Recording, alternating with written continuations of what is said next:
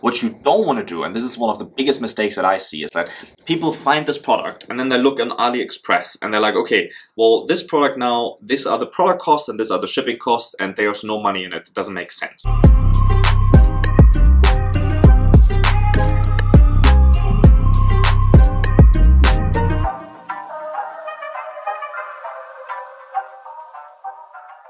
Hey guys, so at this stage we have built multiple seven-figure brands and, and helped clients to build theirs. And uh, what I wanted to tell you in this video today about is how you can take $1,000 right now and build that into a million dollar in-hand cash. Not a million dollar business, but how can you turn $1,000 that you have, have in your bank account into $1 million to have in your bank account in 2021 or within 12 months? And you know, that goes, uh, I hope that goes without saying, but you know, if you start with no experience, without ever having done anything e-commerce related, that will probably take a little bit longer. If you already have done something, well, that's great because the experience always helps you. However, today I'm going to go through the 10 steps that you need to go through to use e-commerce e-commerce and turn a $1,000 into 1 million. The very first step is to find an audience to sell to. A lot of people think, okay, the very first step should be, hey, what product can I sell? And this is what somehow everyone asks these questions like that. What is the product that could I sell? What's the product that everyone wants? What's the winning product, right? What's the one winning product that that that will just blow it out of the park that I can put out there and then it will just do its thing and it will go nuts and you know uh, I'll become a millionaire overnight right? So and everyone looks for this. So everyone looks for these super trendy products that just pop up and uh, every month on this channel, uh, another video pops up of like, hey, the 10 winning products of this month and the 10 winning products of next month and like all this crap. But what you actually really need, just need to focus on is in the very first step, who is the person that you want to sell to? Because in long term, you need to have an audience and you need to have a persona that you like to sell to. And uh, preferably it's something that you're passionate about. Preferably it's something about a space that you actually know something about. So if you don't have a pet, you might probably not want to do the dog niche. If you're not exercising, you probably don't want to do an exercise product, right? Because it's, it becomes so much easier to actually know your market and to know the person, to know the audience. Everything from there on becomes easier. It becomes easier to find the right product. It becomes easier to find uh, to, to do the marketing message right. It becomes easier to do advertisement. Like, think about that. If you're just sitting there and thinking about what product can I sell, then you have 200 million products to choose from right? But if you like niche this down to one person, uh, for example, triathletes, so you want to sell to 60-year-old triathletes that are that are still active, your selection of products that you have available it just shrinks so much so you only have a couple of things to choose from and then you go into the next steps and validating it so let's go over those. In the next step in step number two we do market research in the market research we actually go into the marketplace and we look at competitors we look at what are other people selling in this marketplace what are products that people or what are uh, products that people really want what are products that other brands are selling. And when we do the market research we want to be really careful about not looking at you know big brands. We don't want to look at you know, uh, uh, uh, businesses that already have a name, that already are established, that already, you know, have branding in place that brings people into their business.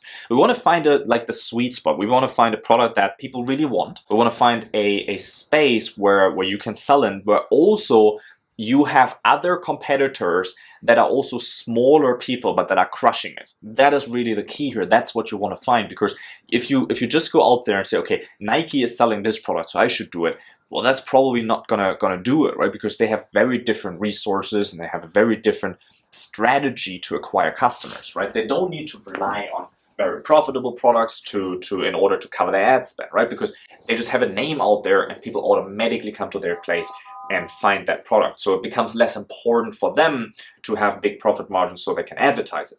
So you want to find the real sweet spot here and do the market research well.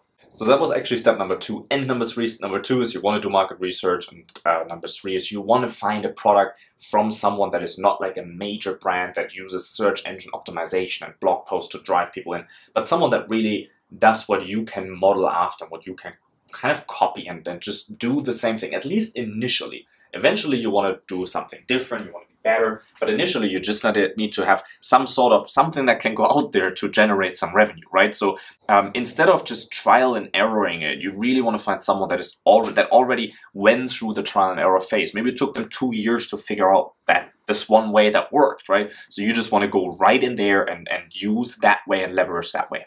Uh, step number four, once you identify the product, you want to make sure that the numbers work at scale. What you don't want to do, and this is one of the biggest mistakes that I see, is that people find this product and then they look on AliExpress and they're like, okay, well, this product now, these are the product costs and these are the shipping costs and there's no money in it. It doesn't make sense. Like there's there's no profit margin. I don't even know how to make money with this. That's, that doesn't make sense, right? So a lot of people go in that with that mindset, but you should make that a little different. And when you go into that, you need to look at the numbers at scale because eventually you will be growing and eventually you will get to a point where you'll be selling, you know, 50 units a day, 60 units a day, where you have thousands of units a month. Because at that level, that's the price that you wanna that you wanna look at. Like, what does your product cost when you reach that level? Because a lot of million dollar businesses are never continued or never started just because the, in the beginning the drop shipping prices didn't work out right? But it doesn't matter. Like you just want to look at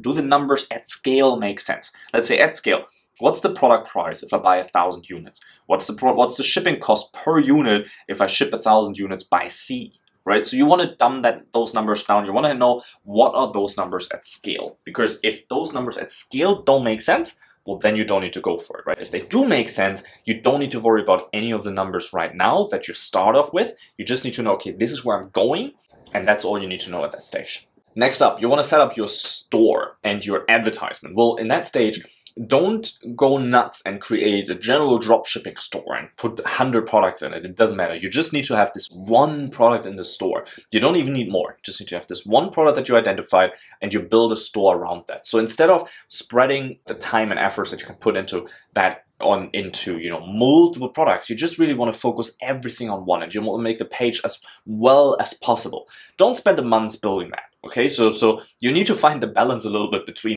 not going overboard with you know investing all your life into that thing but also you don't want to put up just a crappy page right? So you want to have something that looks really good. You want to use what you learn from the competitors. How did they set up the page? What do they display on the page? How do they structure the page? What do they put first? What do they put second? When do they put the testimonials? When do they put reviews? When do they uh, say, you know, uh, how to use this product? When do they say, is this product right for me? You want to find out what is the right order of things that they already have on their page because it's proven. Okay, so you just want to take that, build your store around it. Don't go nuts. Don't go crazy. Don't put tons of plugins in there that are supposedly, you know, increasing your conversion rates and all that. Doesn't matter. Just put up some nice store that you can get out quickly. You should do that within a week, maximum two. Set up your advertisement and then we're good to go for the next step.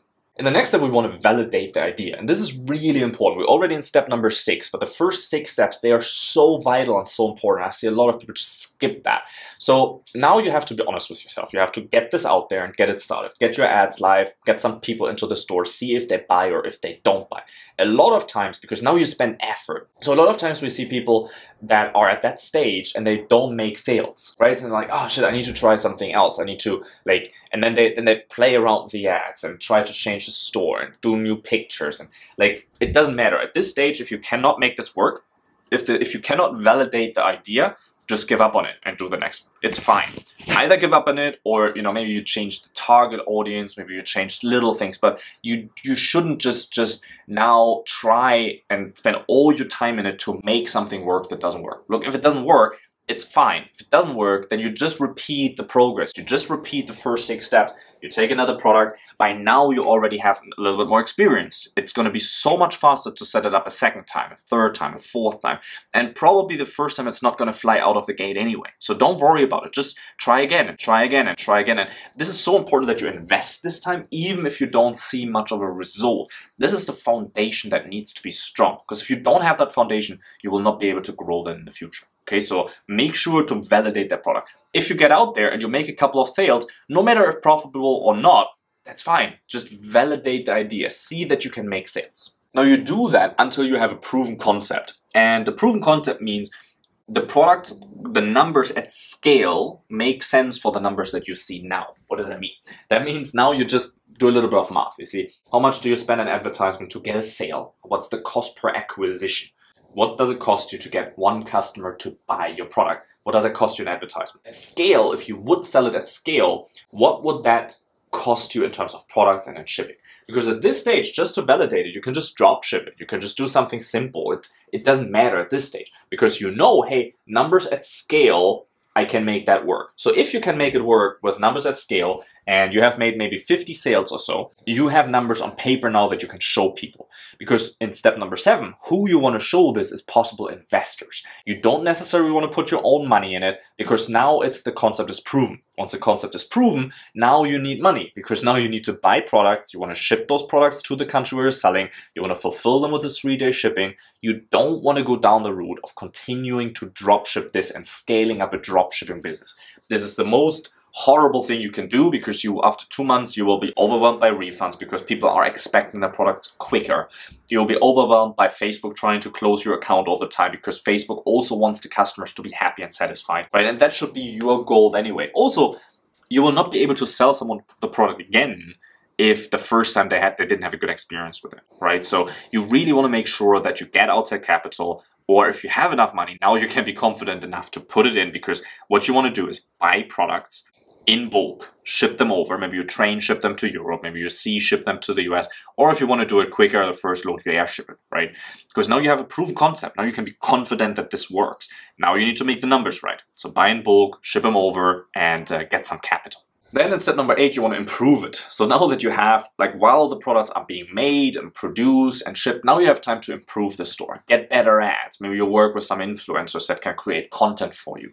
Uh, you can improve your store, get better pictures, make it really pretty, make it nice, make it, make it look great. Maybe you have a developer that comes in to improve your page speed, right? You, you just optimize everything so that when, when your products are ready, well, then when you go out, you can then be profitable and you can, everything can run smoother. You will already increase your conversion rate just by being able to offer three day shipping. That's already something that will completely increase your conversion rate. And if you have a great logistics center like we do in, in Europe, we ship within 24 hours, right? So if you put that on the page, that immediately boosts your conversion rate and more people will buy from you.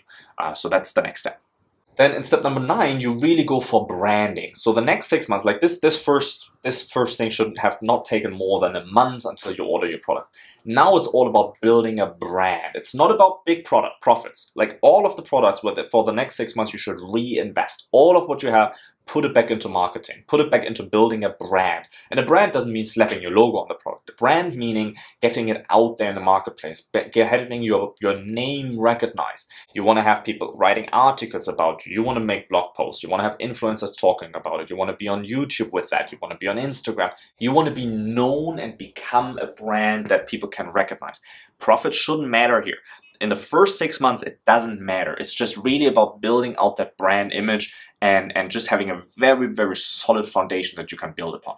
Because then in the last step, in step number 10, the last, that's the last six months. In those last six months, then you really want to go pro in, in, profits. So the first six months, you just want to focus on really making that a brand. And then the, the later six months, you want to build that into the most profitable business that you can, right? So you want to, you, you get the annual subscriptions for the software and you, you just squeeze out every little thing on profit that you can. You should then be at looking at between 40 and 60 sales a day, right? If you have a $50 product, that's about a million dollar revenue over a 12 month period. So you build a seven figure business already with that. It only takes 40 to 60 a day, and that's absolutely something that can be achieved if you have the brand image. It's, it's not too hard, really you have that for the next six months. You just really make that profitable and then you sell the brand. Look, there's so many people out there that want to buy established brands because they don't want to go through all the crap that you went through of trying different products and validating the markets and doing all of this shit. They just want to go into the point where the brand is already existing and they want to buy it from there. So once you're at that stage where you're like, look, now for the last six months, I, I had a very profitable business that's what gives you the value. So the more profitable your business is, that is what the buyers of this business, what they look at. How much profit is there in the end of the month? Or in the end of like the last six months, how much profit was there? And then they give you a multiple uh, on those profits, and then you have a million dollar in a sale of a business. You can if you if you already have e-commerce experience, you can definitely do that in a year. If you don't have e-commerce experience, Well, it just really depends on how long you need to validate that idea. But that's really it. You don't need a lot of capital. You don't need a lot of skills for that. It's it's very basic things. It's the basic things that most people mess up. It's not the latest Facebook ad trick. It's not the latest targeting method. It, it doesn't matter. It's about really basic stuff. Who's the right buyer? Can I get them profitably in the door? Then you take someone else's money to grow that brand and once you grew it and you make it profitable, then you offer it for sale. That's really all there is to it. And and I always thought it's it's a really complicated process, but if you dumb that down to those 10 steps, that's really all you need. Right? So the, the one thing though that stands in between that is that you don't get hung up as a person yourself and try to jump opportunities. Like now that you know this, it's just really about executing this. And this is where most people fail. They're like, oh, I could never do a million dollar business. Well, you could it's it's not hard. You just need to stay focused and stop being distracted by what other people say. You know, a lot of times you have people around you that are like, "Oh yeah, nice, you have this e-commerce business, but how much profits do you actually make? Oh, I don't make so much profits now, but later, yeah, later, hmm, you should take some money out, right? So you always have people that tell you these things, people that don't know anything about it, that will come in and and and they don't mean bad, right? But they will try to to push you into other ways. So you need to be really stubborn and follow this way and just follow the steps and follow the process until at the end of the day you have the big payout that we're all looking for, right? And that's really it. That's the process how you can turn a thousand dollar into a million. So you just need a thousand of your own money. You validate the idea, put out some ads, put out some some dropshipping products, validate it, get some other people's capital, and then really just grow that and sell it in the end of the day. That's all it takes. I hope you liked this video. If you liked it, leave me a like below here. Leave me a comment if uh, you have any questions and I'll come back to you there. And uh, see you tomorrow. Cheers.